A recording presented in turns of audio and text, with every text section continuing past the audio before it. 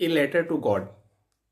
इस लेखक के, इस कहानी के जो लेखक हैं, जी एल फुएंटस हैं, वह उस समय के महानतम लेखकों में से एक थे। वो एक मैक्सिकन कवि उपन्यासकार और पत्रकार भी थे। कहानी ईश्वर में निर्विवाद विश्वास होने के विचार के इर्द गिर्द ही घूमती है। तो इस कहानी के बारे में आज चर्चा करेंगे, इस पूरी कहानी को हम समराइज करेंगे। वास्तव में यह कहानी एक लैटिन अमेरिकी देश में हो रही हो रही है और वास्तव में वहाँ पर एक लेंचो नामक एक किसान है, जो कहानी का नायक है। भगवान को एक पत्र लिखता है। पत्र में वह सर्वशक्तिमान से मदद चाहता है, क्योंकि उसे पता चलता है कि उसकी पूरी फ़सल की उपज विनाशकारी ओलावृक्ष से नष्ट हो गई है। राइट तो वास्तव में यहाँ पर देखते हैं कि उसकी इच्छाएँ आंशिक रूप से पूरी हो जाती हैं। यदि पूरी तरह से नहीं तो अब कुछ उसको जो है सहायता मिल जाती है। तो अंत में कृतज्ञ नहीं रहता है। इसके अलावा वह पोस्ट मास्टर्स की ईमानदारी और विनम्रता पर भी वह सवाल उठाता है। तो हालाँकि ये एकमात्र प्राणी थे जिन्होंने वास्तव में भगवान को एक चिट्ठी लिखी। तो भगवान के नाम पर पैसे और मदद, एक जो गुमनाम आदमी ने कितने इनकी हेल्प किया तो ये पूरी कहानी है। और ये कहानी एक बेहतरीन तरीके से इसका जो प्रेजेंटेशन है जी एल फ्यूंटेस ने बहुत अच्छे तरीके से किया हुआ है।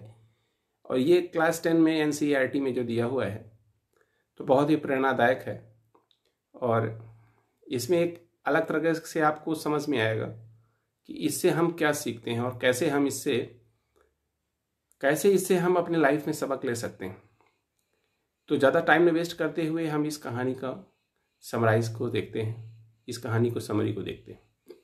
तो लेंचो जो इसका प्रोटेगनिस्ट है एक समर्पित किसान थे और वह एक अच्छी फ़सल की उम्मीद कर रहे थे। हालाँकि उनके दुख के लिए एक ओलावृष्टि आई और उनकी फ़सल को पूरी तरीके से नष्ट कर दिया। लेंचो बहुत दुखी थे, लेकिन उनको ईश्वर में दृढ़ विश्वास था। वह निश्चिंत थे कि भगवान उनकी मदद अवश्य करेंगे। और साथ ही वह एक बहुत ही सीधा साधी आदमी थे। लेकिन खेत पर लंबे समय तक काम करते हुए वह लिखना जानते थे। तो इस प्रकार उन्होंने भगवान को एक पत्र लिखा। अब देखिए वो पत्र में क्या लिखते हैं। तो पत्र में उन्होंने भगवान से एक सौ पैसे भेजने का आग्रह किया। और लिखा कि आप जो है एक सौ पैसे हमको भेजिए।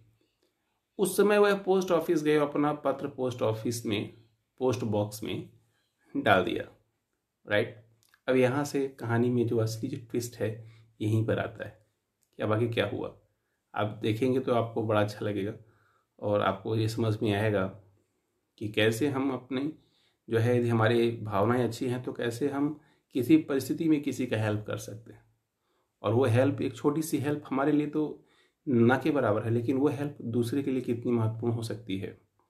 तो ये, यही एक महत्वपूर्ण, इस इस कहानी का एक महत्वपूर्ण जो थीम है, वो यही है। तो डाकिया ने पत्र, पेटी से पत्र निकाल दिया और इस पर उन्होंने संबोधन पढ़ा और खूब हंसे। इसके अलावा पोस्ट मास्टर के पास गया और उसने उस अजीब पत्र का प्रदर्शन किया, उसको दिखाया कि देखो कैसे ये है। पोस्ट मास्टर भी उसी तरह से हंसे जब उन्होंने भगवान का पता देखा। हालाँकि पत्र को पढ़ने पर वह बहुत गंभीर हो गए। उन्होंने इस व्यक्ति की सराहना की जिसने परमेश्वर पर निर्विवाद विश्वास किया और पैसे के मामले में उससे मदद करने का फैसला किया। राइट?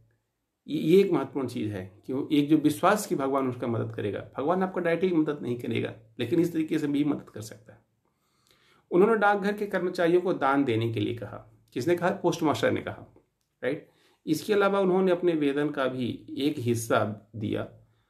हालाँकि वे मतलब लेंचो ने जितना कहा था, लेंचो ने सौ रुपए के लिए कहा था।